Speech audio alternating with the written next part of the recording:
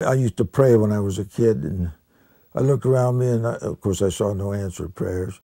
I didn't see any evidence that, that, that there was a God that had any influence on, on, on things. The minister's father was sick, and my mother came to church. She went to a church here, two or three blocks away, and came home. They prayed for the minister's father, and he, she came home and praised the Lord. He's getting better. Week later, she came home from church, said, Praise the Lord, God took him to his resting place. I dreamt I died and went to heaven, and it was perfect. No pain, no strain, no hunger.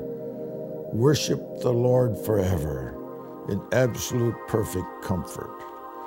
I stood it for one day, and then I wondered, how can I stand this for a billion, billion years? Everything was perfect, no room for improvement. You could not know the joy of helping others nor could you make anything better than it was yesterday. You can help no one because no one needs help. What a glory to worship Him forever in a world of absolute perfection.